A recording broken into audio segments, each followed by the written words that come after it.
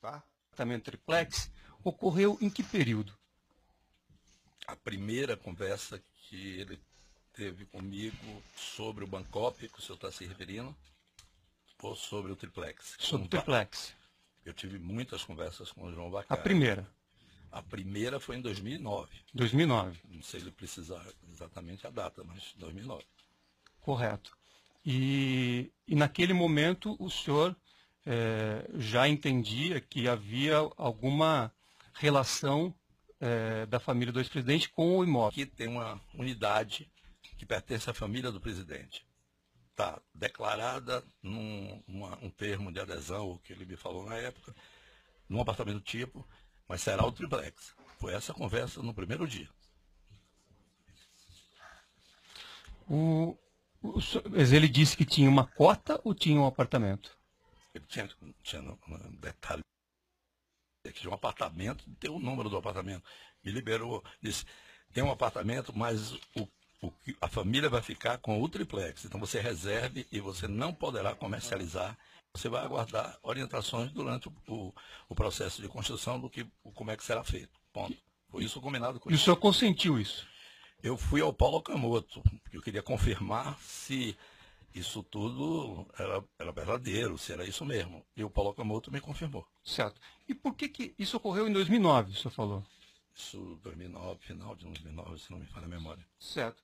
E por que, que o senhor não só não transferiu a propriedade, não lavrou a escritura, como o senhor deu esse imóvel em garantia a, em operações imobiliárias da, da empresa? Porque o imóvel estava em nosso nome, eu não podia segregar. Então o senhor, o senhor continuou tendo o uso, o gozo e a disposição desse imóvel? Não, uso não, porque o imóvel não estava pronto. Então o senhor continuou dispondo desse imóvel? Estou afastado da empresa, estou preso, infelizmente, essa pergunta. Eu não estou é querendo é que ser pergunta... indelicado, não, mas é que eu não.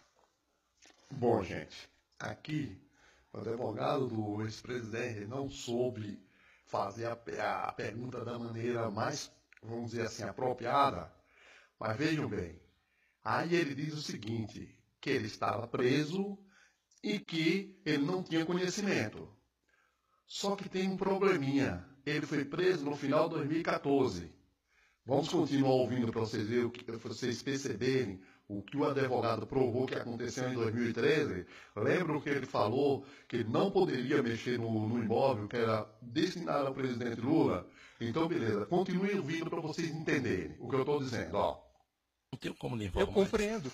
É que é, o senhor é, continuou depois fazendo emissão de valores mobiliários. Por exemplo, aqui no dia 30 de abril de 2013, existe um documento na Junta Comercial de São Paulo, assinado pelo senhor, e que coloca esse apartamento numa, em garantia numa emissão de debêntures.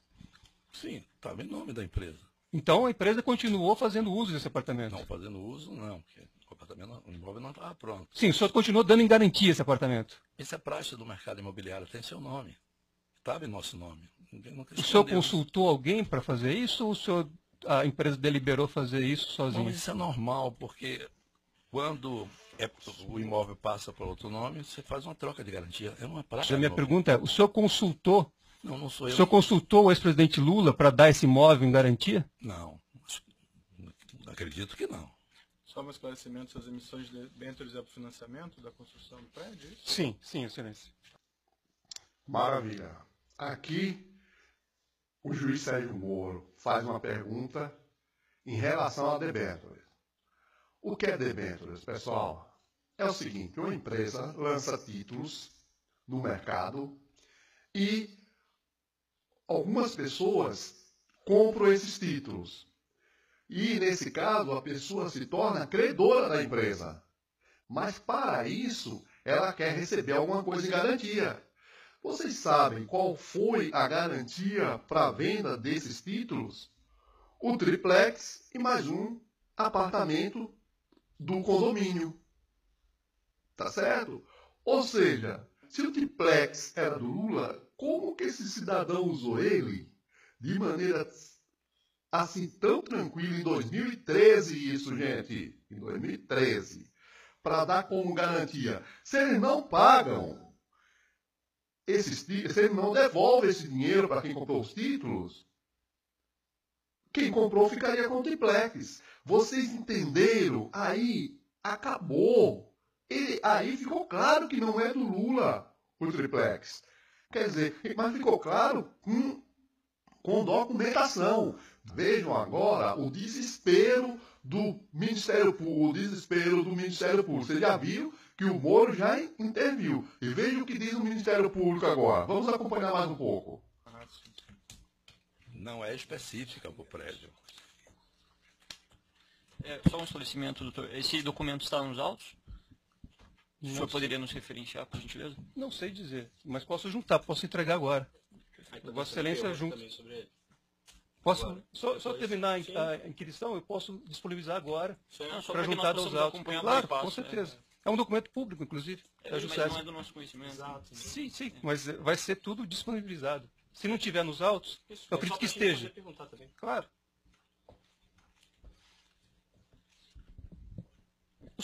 Aqui o homem acabou. Aqui o homem acabou. Você viu? Chega, abaixou a cabeça. Aqui a verdade veio à tona. Tá certo? Vamos ouvir mais um pouco aqui. O senhor sabe dizer em quantas operações financeiras esse apartamento foi dado em garantia pela OAS Empreendimentos? Não.